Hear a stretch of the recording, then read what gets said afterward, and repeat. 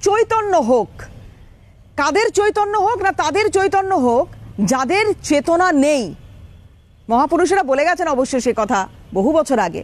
কিন্তু আজকে এ বাংলার রাজনৈতিক প্রেক্ষাপটে দাঁড়িয়ে আবারও সেই কথাগুলোই কোথাও ফিরে ফিরে আসছে। মনে হচ্ছে যে সত্যি চৈতন্য হওয়া খুব দরকার। আজকে কেন এই কথাগুলো বলছি? তার কারণ গতকাল আপনারা দেখেছেন যে ব্রাত্য বসু, রাজ্যের মাননীয় শিক্ষামন্ত্রী, যিনি একজন দক্ষ নাট্যকার, একজন দক্ষ অভিনেতা এবং নিজে একজন অধ্যাপক, শিক্ষকতার সঙ্গে যুক্ত এই রকম একজন মানুষ, তিনি বলছেন যে রাজ্যের মুখ্যমন্ত্রী চৈতন্য দেবের যোগ্য উত্তরসূরি। ওনাকে, ওনার দলের লোকজন এর আগে বলেছেন যে রানী রাসমণি, কেউ বলেছেন মা শারদা আর এবার চৈতন্য দেবের সঙ্গে তুলনা। চৈতন্য দেবের উত্তরসূরি। চৈতন্য দেবের উত্তরসূরি মমতা বন্দ্যোপাধ্যায়। ব্রাত্য বসু এই বক্তব্যের পরে খুব স্বাভাবিকভাবেই রাজ্যের বিভিন্ন প্রান্তে শোরগোল।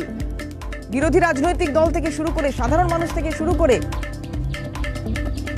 মায়াপুরে ইস্কন পর্যন্ত এই বার্তা পৌঁছে গিয়েছে যে শিক্ষামন্ত্রী রাজ্যের মাননীয় মুখ্যমন্ত্রীকে বলছেন যে চৈতন্য দেবের উত্তরসূরি।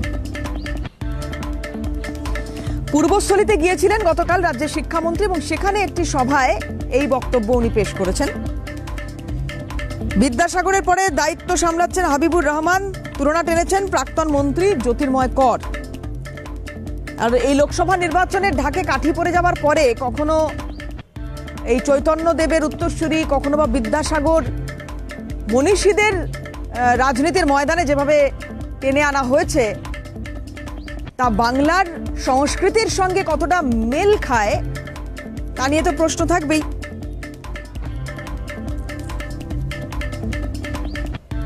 লোকসভা ভোটের ঢাকে কাঠি পড়ে গেছে, ময়দানে নেমে পড়েছে সব শিবির। অন্যদিকে মনীষীদের নিয়ে এই ধরনের মন্তব্য এবং যা নিয়েই রাজনীতিতে রাজ্যের শাসক দল। ব্রাত্য বসু গতকাল কি বলেছিলেন? পূর্বস্থলীর এই সভায় শুনুন।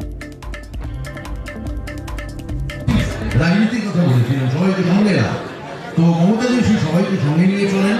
কোনো বিভাজনের রাজনীতি কোনো ভেদাভেদের রাজনীতি মানুষকে দূরে দেওয়া রাজনীতি। এই রাজনীতি চৈতন্য করেননি। এবং চৈতন্য যদি কোনো সার্থক উত্তরাধিকার এই মুহূর্তে বাংলায় থেকে থাকেন তিনি দিলীপ ঘোষ তিনি কি বলেছেন ঠিক? শোনাবো আপনাদের আলোচনা কে বিবেকানন্দের সঙ্গে তুলনা করছে, কে মা শারদার সঙ্গে তুলনা করছে, কে চৈতন্যর সঙ্গে, কেউ বিদ্যাসাগরের সঙ্গে তুলনা করছে। ঠিক আছে, তুলনা করলে যদি কোনো কাজ হয়, ভালোই হয়। তোমরা কোথায় আছো? আর এই মহাপুরুষরা কোথায় আছেন? কেন ওদেরকে ছোট করার চেষ্টা করেন? প্রসেনজিৎ, আমাদের প্রতিনিধি রয়েছেন সরাসরি মায়াপুর থেকে। আমি একটু কথা বলব প্রসেনজিতের সঙ্গে। প্রসেনজিৎ, জানব তোমার কাছ থেকে। কীভাবে দেখা হচ্ছে এই বিষয়টিকে এবং এই বক্তব্যকে ওনারা কীভাবে দেখছেন?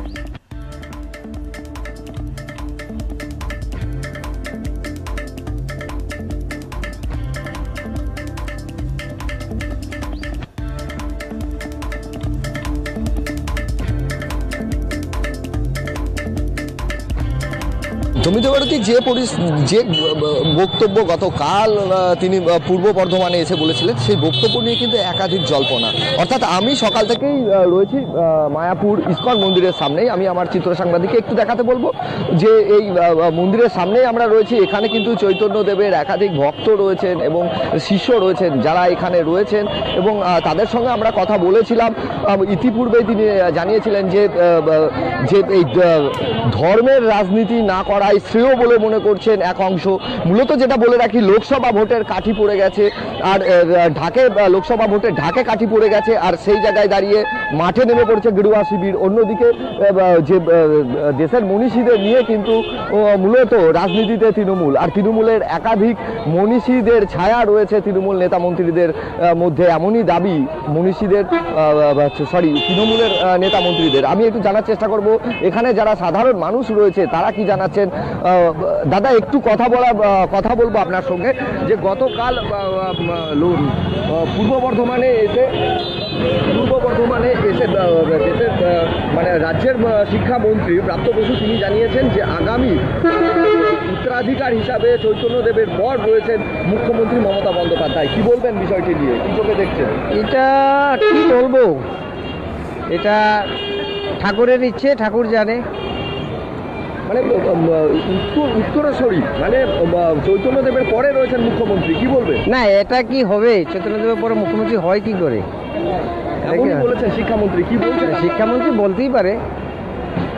শিক্ষামন্ত্রী একদমই আমি অন্যান্য ভক্তদের কাছে যাব দেবারতী এখানে যারা রয়েছেন মূলত এর আগেও আমরা কথা বলেছিলাম, একাধিক ভক্তদের সঙ্গে মন্দির চত্বরে যারা রয়েছেন, আমি একটু ভিতরে যাওয়ার চেষ্টা করব। যেখানে দাঁড়িয়ে যে রাজনীতির মধ্যেও কিন্তু মনীষীদেরকে ছাড় দেওয়া হচ্ছে না, অর্থাৎ মনীষীদেরকেও টানা হচ্ছে, এই নিয়ে কিন্তু একাধিক মতবিভেদের সৃষ্টি হয়েছে নদিয়া জেলা জুড়ে। এখানে যারা ভক্তরা রয়েছেন, আমি একটু ভিতরে যাওয়ার চেষ্টা করব, মন্দির প্রাঙ্গণের ভিতরে, যেখানে একাধিক ভক্ত রয়েছে, চৈতন্যদেবের একটু জানার চেষ্টা করব যে এখানে কি পরিস্থিতি। অর্থাৎ এখানে যারা রয়েছেন, এই যে দাদা যেটা বলছি যে শিক্ষামন্ত্রী ব্রাত্য বসু, তিনি গতকাল একটি সভা থেকে বলেছেন পূর্ব বর্ধমানের যে চৈতন্যদেবের পরবর্তী যিনি রয়েছেন, তিনি মুখ্যমন্ত্রী মমতা বন্দ্যোপাধ্যায়। উত্তরসূরি, কি বলবেন এটা নিয়ে? দাদা এই মুখ্য খাদ্য শিক্ষামন্ত্রী ব্রাত্য বসু তিনি জানিয়েছেন পূর্ব বর্ধমানে এসে যে পরবর্তী চৈতন্যদেবের উত্তরাসরী হিসেবে মুখ্যমন্ত্রী রয়েছেন। কি বলবেন এটা নিয়ে? আমি আসলে বলতে পারছি না কিছু। একদমই আমি আরেকজনের কাছে যাব। মুখ্যমন্ত্রী মমতা বন্দ্যোপাধ্যায়কে নিয়ে খাদ্যমন্ত্রী জ্যোতিপ্রিয় মল্লিক সরি শিক্ষামন্ত্রী ব্রাত্য বসু জানিয়েছেন যে চৈতন্যদেবের পরবর্তী যিনি উত্তরাধিকার উত্তরাধিকার রয়েছেন তিনি মুখ্যমন্ত্রী। কি বলবেন এটা? না না কখনো কি বলবেন এটা? আমাদের যে মুখ্যমন্ত্রী আছে ঠিকই আছে। উত্তরাধিকার তিনি চৈতন্যদেবের পরে তিনি রয়েছেন। মনীষীদের সঙ্গে তুলনা করছেন কি বলবেন? না কখনোই না। কাকু কি বলবেন বিষয়টি নিয়ে? অসম্ভব হয় নাকি? কখনোই নয়? একদমই জমি যেটা এখানকার মানুষ জানাচ্ছে বা যারা ভক্তরা রয়েছেন, তারা জানাচ্ছে কখনই নয়। অর্থাৎ এই বিতর্ক কিন্তু বারবার উঠে আসছে। আমি আরও আরও কয়েকজনের সঙ্গে একটু কথা বলার চেষ্টা করব। কাকু, এই একটা বিষয় নিয়ে আপনার সঙ্গে একটু কথা বলতাম। একদমই বিতর্ক কিন্তু এড়াতে চাইছে। অর্থাৎ সাধারণ মানুষ কিন্তু অনেকটা ভয়ভীতির মধ্যে রয়েছে, যার জন্য মুখ খুলতে চাইছে না।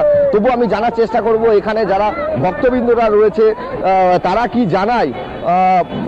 দীর্ঘক্ষণ ধরেই আমরাও কাকু একটু দাঁড়াবেন। বলছি চৈতন্যদেবের পরবর্তীতে উত্তরাসরী হিসেবে রয়েছেন মুখ্যমন্ত্রী এমনই ব্রাত্য বসু শিক্ষামন্ত্রী জানাচ্ছেন কি বলবেন? আমি এই বিষয়ে কিছু বলতে পারব না দাদা। এই পলিটিক্সের ব্যাপার আমি একদমই দেবারতী যে সাধারণ মানুষ কিন্তু ভয় ভীতির মধ্যে রয়েছে। অর্থাৎ আমি একটু চেষ্টা করব যারা এখানকার চৈতন্য দেবের ভক্ত রয়েছে আমি তাদের সঙ্গে একটু কথা বলার চেষ্টা করব। একটু সামনে যাব। হরে কৃষ্ণ যদি একটু দাঁড়ান, হরে কৃষ্ণ।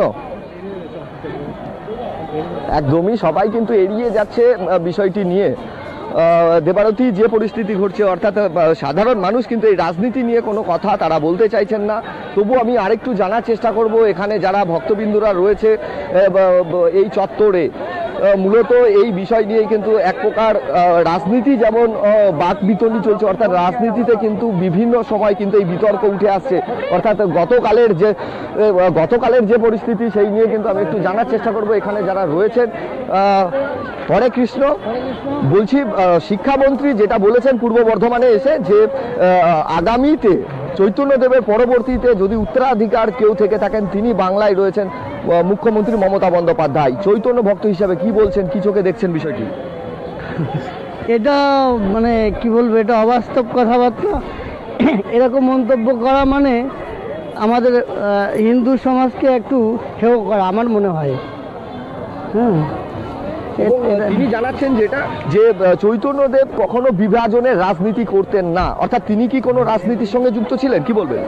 না তিনি কোনো রাজনীতির সঙ্গে যুক্ত ছিলেন না তবে তিনি প্রকারান্তে মানুষের মঙ্গলের জন্য যেটা করতেন এটা রাজনীতি বাইরে বলা যায় না।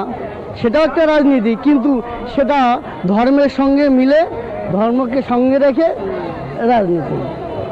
মানে এটা প্রকাশ হতো না যেটা রাজনীতি।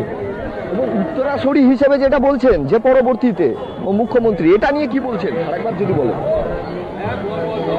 এটা মুখ্যমন্ত্রী কি বলব এখন? জনগণ যেটা বলবে সেটাই নিতে হবে আমি ব্যক্তিগতভাবে যদি বলি সেটা একটা অন্যরকম হয়ে যাবে। তাই না?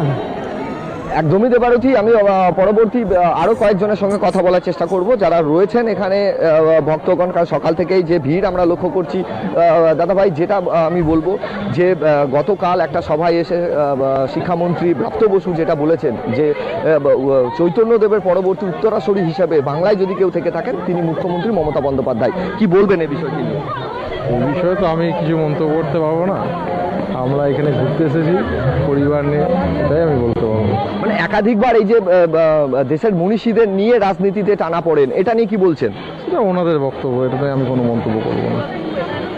একদমই সবাই কিন্তু এড়িয়ে যাচ্ছেন বিষয়টি। আমি কয়েকজন প্রভুকে পেয়েছি। হরে কৃষ্ণ যে বিষয়টি বলব যে মুখ্যমন্ত্রী মমতা বন্দ্যোপাধ্যায় চৈতন্য দেবের পরবর্তী উত্তরাসরী এমনই দাবি করেছেন খাদ্যমন্ত্রী। এই সরি শিক্ষামন্ত্রী। কি বলবেন? শিক্ষামন্ত্রীর এই বক্তব্য শিক্ষামন্ত্রী। দাবি করেছেন যে পরবর্তীতে চৈতন্য দেবের উত্তরাধিকারী